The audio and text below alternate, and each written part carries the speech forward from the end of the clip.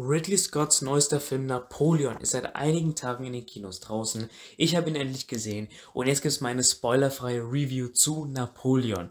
Was ich gut fand, was ich schlecht fand und meine Gedanken zu Ridley Scotts neuestem Film gibt's in diesem Video. Fangen wir also direkt an. Historische Filme, große Schlachten und ein bildgewaltiges Epos.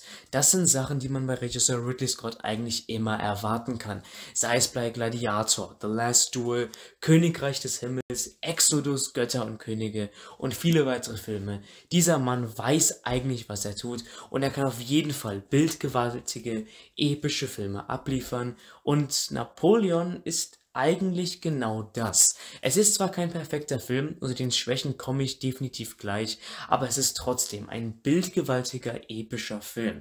Napoleon hat Schlachtsequenzen, die habe ich glaube ich noch nie im Kino gesehen und was Regisseur Ridley Scott mit 85 Jahren noch auf der Leinwand bringen kann, ist einfach nur fantastisch. Also da will ich mal direkt damit beginnen, denn die Schlachtsequenzen sind definitiv mein Highlight. Also ganz ehrlich, was Ridley Scott da macht, ist richtig, richtig richtig gut. Sei es die Schlachtsequenzen in Waterloo, Austerlitz, Toulon, die ganzen Sachen um die französische Revolution und so weiter und so fort. Das ist einfach nur fantastisch inszeniert. Sehr wenig CGI, sehr viel echtes Zeug, also sehr viele echte Schauspieler, echte Drehorte, echte Kulissen. Und das macht das Ganze nur noch krasser im Jahr 2023. Solche bildgewaltigen Schlachtsequenzen auf der großen Leinwand zu sehen. Und ich sag jetzt schon, alleine dafür lohnt es sich ins Kino zu gehen.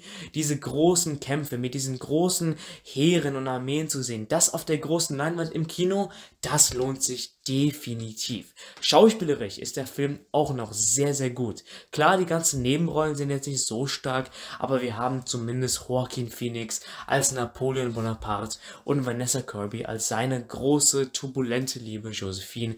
Und ich fand beide Schauspieler in ihren respektiven Rollen eigentlich sehr, sehr gut. Klar, es gab schon bessere Rollen für Joaquin Phoenix. Ich fand ihn jetzt nicht überragend gut, aber ich fand ihn trotzdem mehr als solide als Napoleon selbst. Aber Vanessa Kirby als Josephine hat mich, glaube ich, sogar noch mehr überrascht und sie fand ich eigentlich fantastisch.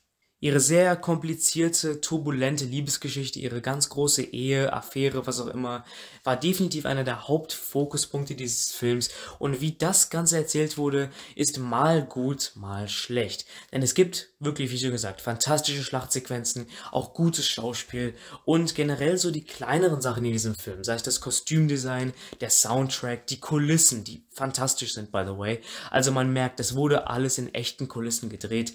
Wenig oder ich glaube sogar gar kein Greenscreen, keine Spezialeffekte. Wenn etwas in einem Schloss spielt, wurde das in einem Schloss gedreht. Wenn etwas auf einem Feld gedreht wurde, dann wurde es auf einem echten Feld irgendwo gedreht. Man merkt, das sind echte Kulissen und das ist einfach nur richtig authentisches, geiles Filmemachen. Und auch diese kleinen Aspekte funktionieren richtig, richtig gut. Aber zu meinem vorherigen Punkt, zu dieser Liebesgeschichte, da gibt es ein großes Problem. Denn das größte Problem, was Ridley Scotts Napoleon hat, ist die Narrative selbst. Denn dieser Film dauert zwar zweieinhalb Stunden, was schon ziemlich lang ist, aber die Geschichte, die er versucht zu erzählen, ist einfach zu groß, meiner Meinung nach. Es geht um Napoleon selbst, um seinen Aufstieg, um seinen Fall, um seine größten Meilensteine, seine größten Schlachten, aber dann geht es auch noch um Napoleons Liebesgeschichte um seine Ehe und Affäre mit Josephine, die sehr kompliziert, unfassbar komplex ist. Und dann geht es um Napoleon selbst und um den Mann selbst. Es geht weiterhin noch um die Politik in Europa, um den Wiener Kongress, um die ganzen Allianzen zwischen Preußen, Österreich, Großbritannien, Russland und so weiter und so fort. Und es ist so verdammt viel Material, was man in zweieinhalb Stunden einfach nicht erzählen kann. Und deswegen arbeitet Regisseur Ridley Scott auch gerade an einem vierstündigen Regisseuren-Cut, an einem vierstündigen Director's Cut für Apple TV Plus, wo das Ganze überhaupt noch zu streamen sein wird. Diese Kinofassung ist aber die gekürzte Version davon und ich finde, das merkt man, denn der Film ist überhaupt nicht schlecht. Also ich fand ihn wirklich gut, aber die Narrative und wie der ganze Film erzählt wird, ist einfach ein bisschen hektisch. Also es fühlt sich manchmal wirklich so an, als würde ich mir ein Best-of of Napoleon anschauen. Eine Best-of-Montage mit den besten Highlights von Napoleons Leben. Seine krassesten Schlachten, seine, ich sag mal, wichtigsten Meilensteine, ein paar wichtige Aspekte persönlich, ein paar wichtige Aspekte bezüglich seiner Liebe zu Josephine, aber das war's dann auch. Klar, die Schlachten sind fantastisch, das Schauspiel in den intimen Momenten ist fantastisch, aber es funktioniert einfach nicht so gut zusammen, weil die Narrative so zerschnitten ist. Ich glaube, mit einer vierstündigen Fassung oder vielleicht sogar einer dreistündigen Fassung würde das Ganze ein bisschen besser funktionieren, weil der Film dann viel mehr Zeit hat zu atmen, weil es ist einfach so zack, zack, zack, zack, zack, Ende. So hat sich das für mich zumindest angefühlt. Ich habe zwar die zweieinhalb Stunden schon genossen und wie gesagt, ich fand die einzelnen Elemente eigentlich sehr, sehr stark, aber zusammen ist das Gesamtkonstrukt etwas, ja, etwas wild hin und her geschnitten, etwas verschwommen und irgendwie ist es nicht so das, was ich erwartet habe.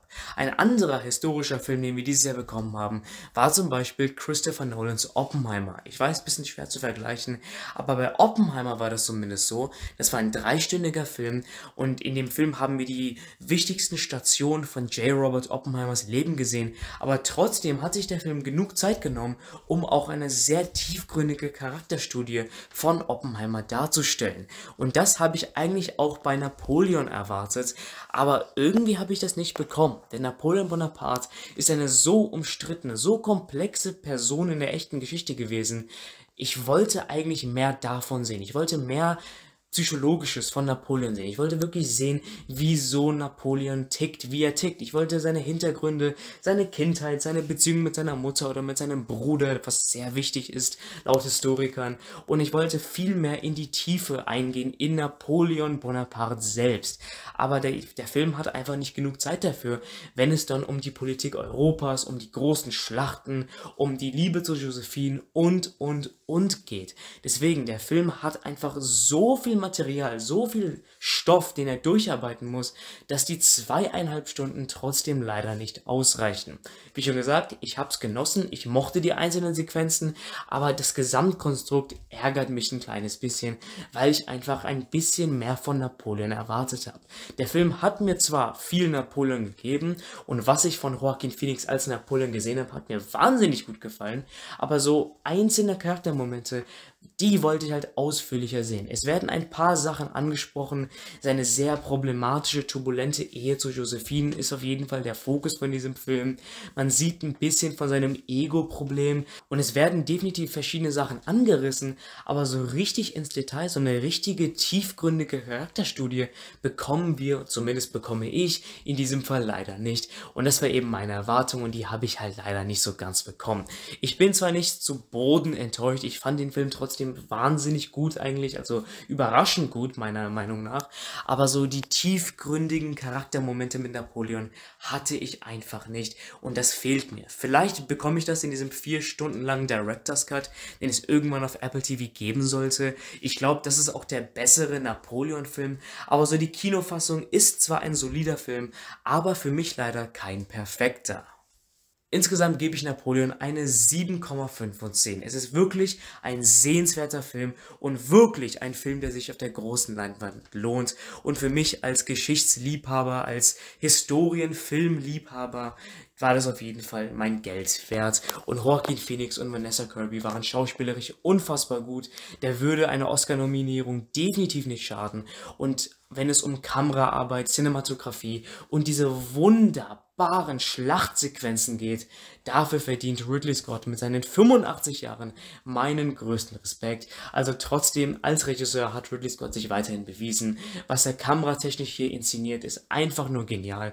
Und auch diese ganzen kleineren Sachen wie Kostümdesign, Soundtrack, Kulissen und so weiter und so fort sind unfassbar hochwertig und richtig schön zu sehen, dass es sowas noch im Jahre 2023 20 gibt. Aber die Gesamtnarrative ist einfach ein bisschen wild hin und her geschnitten und ein bisschen mehr Charaktertiefe von Napoleon hätte ich mir schon gewünscht. Es ist definitiv kein perfekter Film, aber dennoch ein unfassbar bildgewaltiger und epischer Film, der Napoleon Bonaparte einigermaßen gerecht wird. Und das sind eben meine spoilerfreien Gedanken zu Ridley Scotts neuestem Film Napoleon. Was haltet ihr von dem Film? Habt ihr ihn überhaupt schon gesehen? Habe ich euch motiviert, ihn jetzt im Kino anzuschauen oder nicht? Schreibt mir gerne eure Meinungen zu Napoleon gerne jetzt unten in die Kommentare. Das war's für dieses Mal. Macht's gut. Euer Superlogie. Bis zum nächsten Mal und ciao.